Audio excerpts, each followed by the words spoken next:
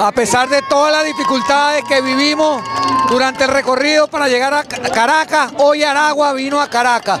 Hoy le decimos a las cuatro rectoras del CNE, queremos paz, queremos reconciliación y el instrumento es el artículo 72. Queremos revocatorio, ponga la fecha del 20% y este mismo año tenemos que revocar a Nicolás Maduro porque así lo dice la Constitución de la República Bolivariana. Que iba a Venezuela.